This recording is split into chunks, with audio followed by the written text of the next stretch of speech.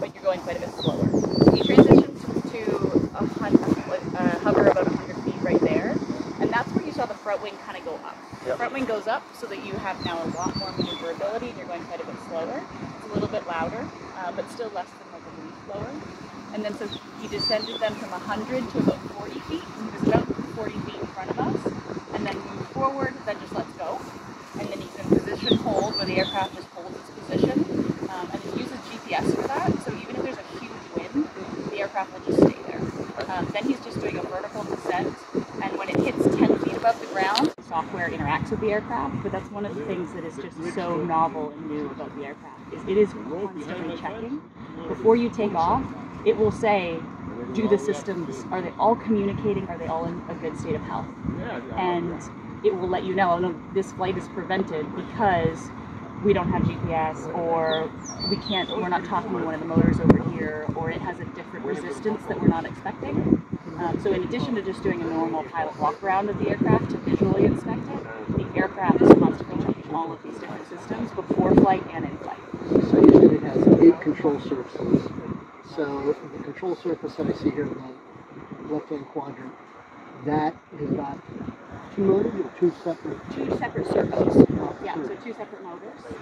And they're split, and two backup battery sources and two primary battery sources. So it has a primary battery source from the battery bus, where everything shares um, battery. Then it also has an onboard backup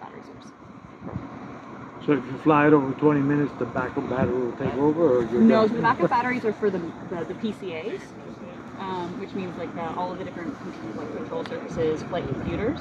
Um, if you fly uh, for more than 20 minutes, what will happen is it'll start yelling at you that you're low battery, you should landing.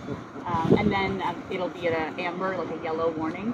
Um, then if you go further, it'll turn red and say, okay, you need to land immediately, get on the ground. And then if you still don't get on the ground, we recommend the parachute. Um, because the aircraft, if it does lose all total power, um, we're not 100%. Uh, you, you can't likely glide all the way to the ground depending on where you are in the air. Um, so we recommend a parachute, which is a more expensive safety device. But there's a lot of different indicators. So you're only at 200 feet. So to get from 200 feet down to the ground, it's not going to take that much battery.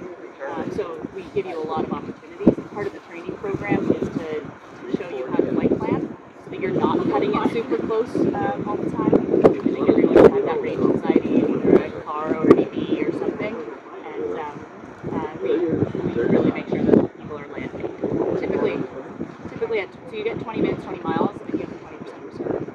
Um, and we will not- we are notified every time you get that 20% reserve because that reserve is used in case there's a dog who came to your landing site and you have to go find a different one, or like something happens and the wind changes and you need to try it again. You always need to have that extra battery just in case.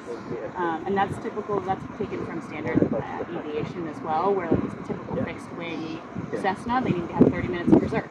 Because if that airport is shut down, you have to be able to get somewhere else. You don't want to land in a farm field.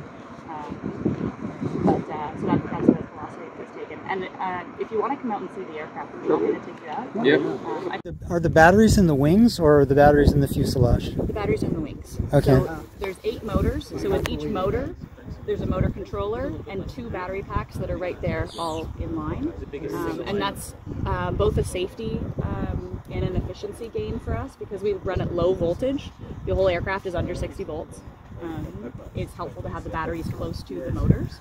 Um, and uh, then also distributed means that if you lose one of those battery packs, it's not going to take out the rest of the battery packs, and that motor can pull from the adjacent battery packs. And philosophically, the reason that you want to stay in the ultralight. So you don't need a pilot's license to fly it, which means that you know a lot of people who either have lost a medical, um, don't have the time or the money to get a pilot's license, don't have to go through that whole training. Most of the training for a traditional pilot's license isn't applicable at all.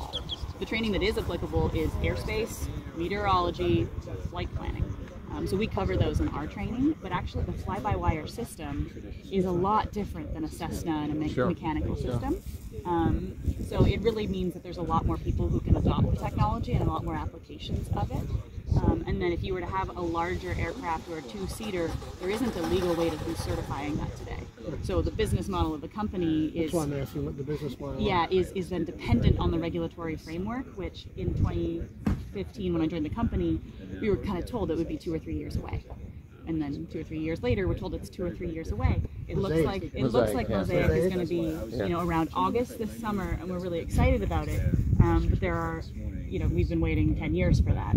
Well, with the people that are getting fired, who knows? people are working really hard on it. Like the ASTM standards are trying to be written for how you actually train for aircraft like this.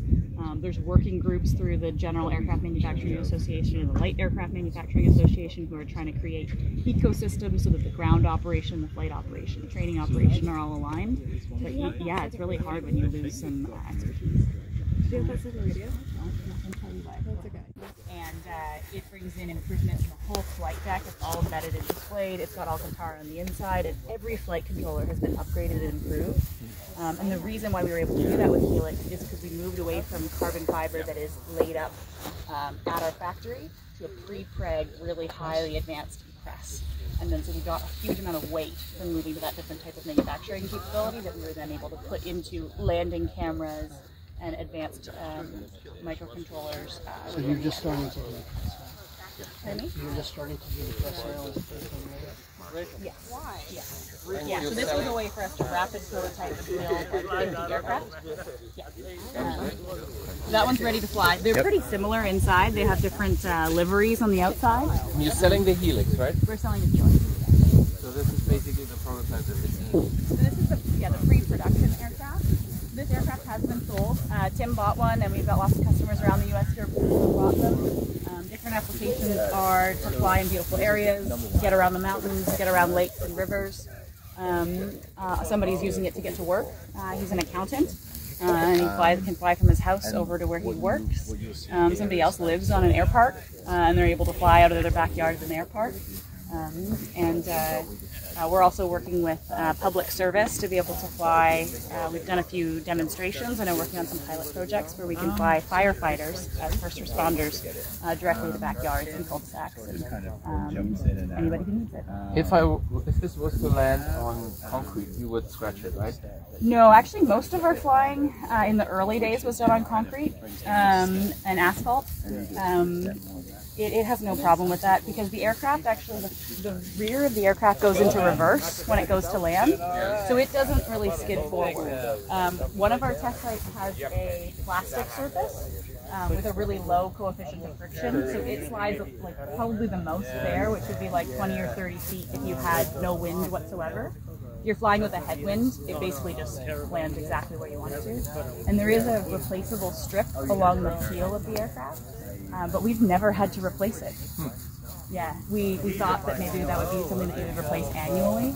Um, and on none of our aircraft that are flying, there's um, over 30 aircraft that have been uh, flown. Watch your head.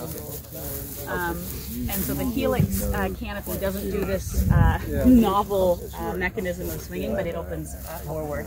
And we were able to get more weight um, allowance from the, the carbon changes to be able to allow a, a nice hinge and have that be uh, opening more traditionally like a fighter cockpit or something. The price for the Helix? The Helix is 190k, um, and that comes with the training of the aircraft too. And what we found is most people who are buying them are actually buying additional training seats, so that their friends or family, whether it's their kids, or can also hop in and fly. Um, and that's also really nice because it means that uh, you've got a partner who can be on the ground, help flight plan with you, um, and, uh, it's really, really fun. How many have you sold? Uh, we're not disclosing the numbers. We capped the BlackFly production aircraft at 12 just to see if going from zero customers to 12 customers and you build up sales, customer support, service departments. Um, and uh, Helix, we're looking at um, building a factory in capacity aircraft carrier. Um, but we'll start out smaller than that. You know, the issue with the, the amphibious Uh, because it's really important to us that every customer has a really good experience. Um, and if we deliver too many aircraft and then can't service everyone and don't keep them airworthy, that's going to be a experience. So I heard that the Air Force uh, used some of them. Is that true? Yeah, we leased eight of them to the Air Force, uh, to AFWERX, uh, last year. And so they were flying them out of Ohio, doing uh, test. They did a. They helped us do a uh, acoustic study with the aircraft, and by their standard NASA acoustic study parameters, they actually couldn't hear the aircraft at all, and they told us we had to fly lower so that you could hear us. Um, so we have only just uh, started doing um, aerodynamic efficiency improvements to consider the propeller wings, things like that. How can we decrease the noise? Um, these propeller, the propeller design hasn't changed in the last, uh, I want to say five years. Okay, so that's a, a thing. A lot of people think they're going to be very, really noisy, and they're they're a little bit loud when during the takeoff and the landing. But once they're in the air, they're extremely quiet. Now wiggle. And wiggle past the handle. Again, this is a booster seat, so you're like getting on a horse. You got the cowboy hat even. Then that goes up, that's down, I'm a pilot. that's Can I fly? forward. Well, this tells you because it's different than everything else you fly. Coordinated turn right, coordinated turn left. If you're in a hover, that's nose left, that's right. Okay, and this? It's just you declare left or right handed on takeoff. And then if that one fails mid-flight, pull the trigger, that one activates that. And I would close the canopy, but I have a booster seat and it wouldn't fit you. So there's no step. It's really just kind of a You hop can up. put a step. Uh, Okay. It does come with Yeah, a but it step, it, but then you'd have to still with the step. Okay. But you would fit just right. Yes, I know. And then stand on the But seat. I think it doesn't And is that round circle where the step goes, or? No, it hangs off of the side. Okay, I got it. Okay. All right, not too bad. Now we'll put the pad in. Can you do that maneuver or you need a step?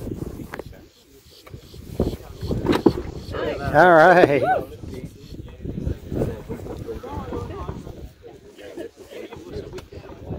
Very good.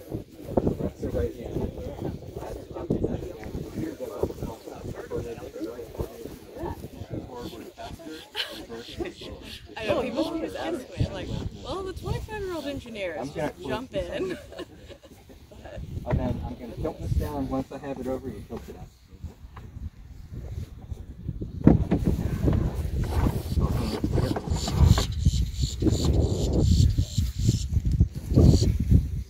Then you have a rear view mirror for when you're hovering. Oh, I was wondering about that. Yeah, pretty nice.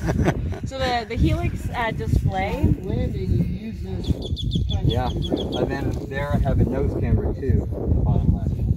yeah, and Helix will have that built right into the built-in display at the bottom. Um, and it'll probably get a little warm, so we can kind of crack this open. Once you're actually flying though, Yep. There you go. that takes air in from the rear Yep. and then shoots it out circumferentially around the, uh, the front of anywhere. And Covering the parachute. What's is there a life limitation on the motors or the propellers? Uh, so we thought so. We thought that the bearings would be the first thing to break, uh, but the motors have actually flown in our lab over 15 circumnavigations of the globe under Wow. standard operating conditions. So they are extremely reliable Okay. um, when operated within their requirements, and they're easily swappable. So we've designed them so that if you were to damage a motor, the aircraft would detect it. It has no problem with one or a specific configuration of two motor failures. You, you literally just continue to your landing site if that happens, and then we'll replace the motors. So they shut down in pairs. Is that what I heard? So if this one fails, it'll shut down the, the opposite one Ah. because that's the easiest way to balance the thrust across the motor. Yeah, you know what you're talking about.